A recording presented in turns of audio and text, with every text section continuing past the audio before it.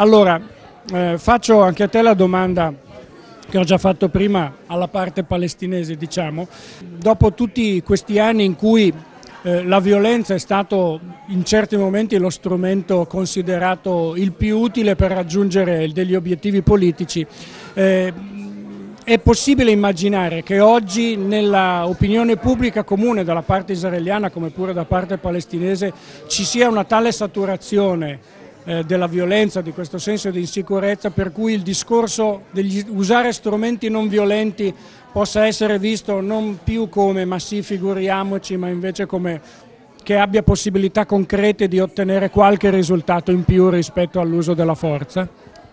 Questo è l'auspicio e noi siamo abituati da varie decadi a una visione diversa dall'auspicio. Cioè il tempo ci ha abituato a vedere una violenza consolidata, a volte per offesa, a volte per difesa, da ambedue le parti. Dio non voglia che questa essere una cosa consolidata diventi consolidata, nel senso che diventa una cosa che rende anche ipotecato il futuro.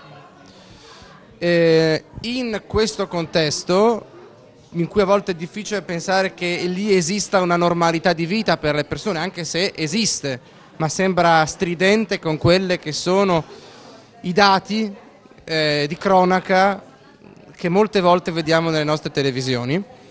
Ebbene, ci sono delle persone che hanno già provato da tempo e continuano, grazie a Dio, a impegnarsi nel senso di rendere possibile se non la pace il dialogo, anche perché pace non è soltanto il fatto che le armi cessino. Eh, Kant scrisse un piccolo libercolo che è per la pace perpetua, no? E aveva scelto come sfondo un'illustrazione di un cimitero, perché dopo Westfalia si aveva terrore che la pace fosse quella dei cimiteri. Noi non vogliamo la pace dei cimiteri, questo proprio non è nostra intenzione la pace vera è quella che nasce dal dialogo. Allora è bene che la prima cosa, ed è un buon segno, che la prima cosa che noi abbiamo è il dialogo.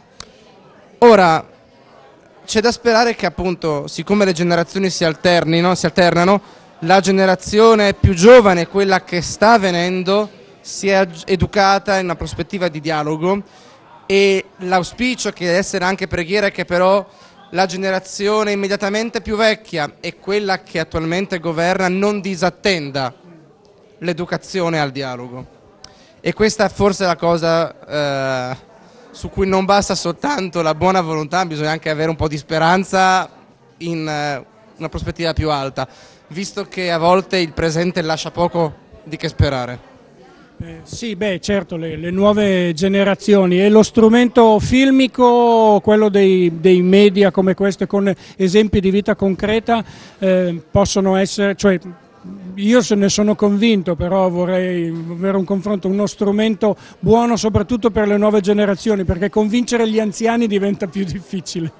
Io credo, anche, credo anch'io di sì, però dobbiamo fare attenzione, perché i media è molto più facile che vengano adoperati come sono adoperati in senso totalmente contrario a quello che può essere uno discorso di pace.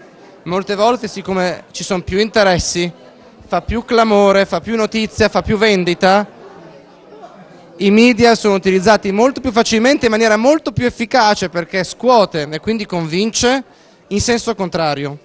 Quello che possiamo sperare è che mm, film che hanno un altro scopo, cioè lo scopo di far riflettere, di pacificare anche se la strada è irta, è scomoda, è lenta, smuovono delle minoranze qualificate. A volte una minoranza qualificata può fare più con una maggioranza che qualificata non è. E io credo che in questo senso sia un contributo estremamente positivo. Grazie mille.